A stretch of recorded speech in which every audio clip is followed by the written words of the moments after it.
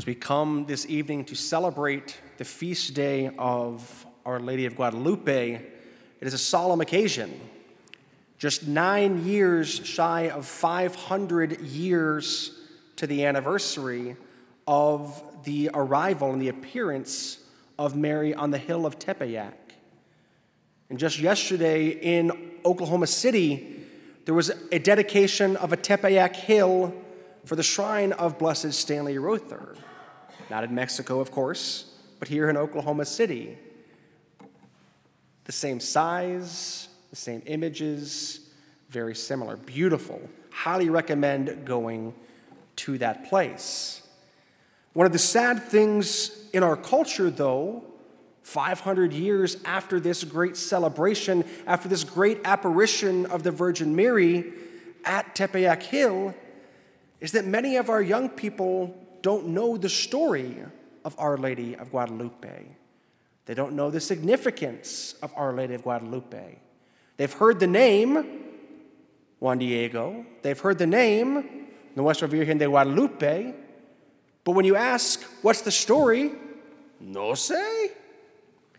They don't know anymore. And that's one of the responsibilities that we as adults have is sharing that story, passing down the why of our faith. That Mary, 500 years ago, sought to bring unity to those who were oppressed and sought to bring peace to us in our lives. 500 years later, now in the year 2022, she seeks the same thing. How are we unified in our lives? I think the bigger question is how are we divided in our families? How are we divided in our culture? How are we divided in our very church? These are questions that should really bring us to prayer when it comes to our relationship with our Heavenly Father through the intercession of the Virgin. How can we be unified? When we struggle to understand each other's languages, English to Spanish. My last assignment, English to Spanish to Italian to Burmese. that though we come from many different places and have many different cultures, we have one Lord, one faith, one baptism. And we see in our gospel today, during the visitation of Mary to her cousin Elizabeth, that just the presence of Christ can bring such joy to our surroundings. That when Mary visited her cousin Elizabeth, the infant in her womb, who we know of as John the Baptist, leapt for joy. Do we leap for joy when we come to the presence of Christ? Do we seek to be that same presence of Christ to those that we meet so that they too can leap for joy? Fact, I think it'd be kind of weird if I was walking around, people were like, hey, how's it going? I'd be like, what's going on? but how amazing would it be if we loved being around each other more often? It is great that we can come to these great celebrations of the Feast of Our Lady of Guadalupe, and the fiesta later is going to be great. I'm saddened that we don't have the dancers with us last, like we did last year. They came in and told the great story that we all know so many times. Hopefully, we'll get them back next year. But we have these opportunities to come together as members of the faith, to lift each other up, to unify around Christ and his mother, la Virgen de Guadalupe, la Virgen del mundo, la Madre de Dios pero también la madre de nosotros. That's about as much Spanish as I can get off the cuff. but in our lives, God gives us so many opportunities. He gives us so many blessings. But instead of seeing the blessings, many times we look at the small details, the small things that are going wrong, and we choose to pick on those. We choose to point them out whether it be with our children, whether it be with our spouses, whether it be with our own parents. And as Pope Francis would say, I'm not even going to talk about our suegras. Because many times in life, it's easier to point the finger than it is to see us staring back at ourselves in the mirror. Porque somos pecadores. Todos de nosotros somos pecadores. But God loves you anyways. And God is seeking to change our hearts. God is seeking to change the way that we live our lives. It's interesting, we see in the Old Testament, in the book of Genesis, early on, that everybody spoke the same language.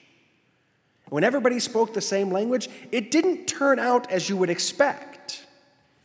We all have Google Translate these days, and sometimes it translates decently. It's getting better, praise God. But when we all spoke the same language, we thought we didn't need God anymore. And so they have what's called the Tower of Babel that was built as this great monument to the creation of humanity. They wanted to build it to the sky so that we could walk up this tower and tell God we didn't need Him anymore. We don't have to walk up that tower anymore, my brothers and sisters. We live that tower many times by our, the way that we live our lives. Do we truly, as Christ tells us to, love the Lord with all of our heart, with all of our souls, and with all of our strength? And then we love our neighbors as ourselves? It's a rhetorical question. No, we don't. Imagine how the world would be if just one person fought every day to make that change in their lives. How different the world would be today. Well, in fact, two people in the history of creation made that journey and did so perfectly. One of them, Jesus. He's God. He gets a pass. the other one, his mother who we're here to celebrate tonight. She was perfect. She had temptation. She had the opportunities to sin. She had the opportunities not to try.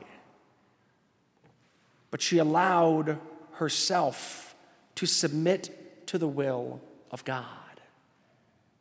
My soul proclaims the greatness of the Lord. My spirit exalts in God, my Savior.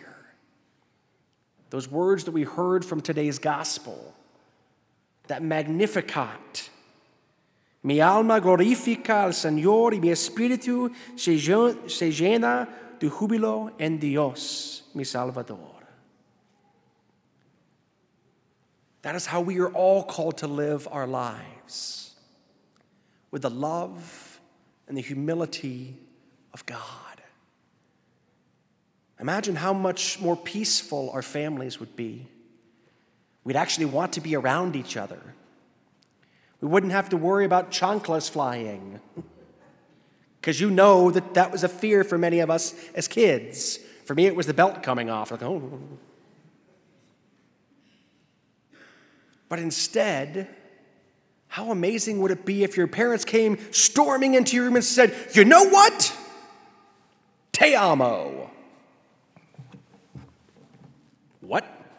I love you. Okay, why did you come at me that way? Because I wanted to get your attention. And for some of us, we've learned the only attention that we get is when we do something wrong, when we're afraid. But the Lord and Pope St. John Paul II continually told us be not afraid. No tienes miedo. I think that's the right translation, más menos. but how much fear do we have in our lives? How much fear do we have in our hearts? That if we truly understood the love of God, nothing could keep us from celebrating every moment of every day. Nothing would ever keep us from celebrating the liturgy of the Eucharist. Nothing would ever keep us from sending not only our kids to religious education, but going ourselves to continue to grow in our understanding of the love of God. Being that model that Mary was for us, for our children themselves. That Mary was the perfect model not just for us, but for her son our Lord Jesus Christ. Imagine growing up in a family where your mom really was perfect, instead of in a family where your mom just thought she was perfect. Most families. Most moms think they're perfect. Most dads think that they've never done anything wrong, and they're both wrong. because neither of them are perfect, because they're both sinners. But still loved by God. And so, as we continue through this celebration of the love of God, may we truly look to our Mother Mary to lead us, to guide us. Many of you women in here today at your own quinceanera dedicated your lives and your adolescence to the Virgin. How did that go? And if it wasn't perfect, what's stopping you from turning anew today? From starting anew today and saying, these last one, two, 65 years haven't been perfect. Salud. But there's no better time to change our lives than the present. May we see in the gift of this celebration of Our Lady of Guadalupe a new opportunity each and every year, but also each and every day to model our lives after her perfect life. That when things go wrong, as they always will, inevitably, we may look to our Heavenly Father. We may repent. We may turn back. We may have the grace to respond somewhat like Mary did in today's gospel. Where not only our souls proclaim the greatness of the Lord, and our spirit rejoices in God, our Savior, but our lives reflect our words. How amazing would it be if our actions truly reflected our words, where there would be no more hypocrisy, but just love and faith. May that be our mission today May that be our mission at the fiesta after Mass. May that be our mission tomorrow when we wake up as well.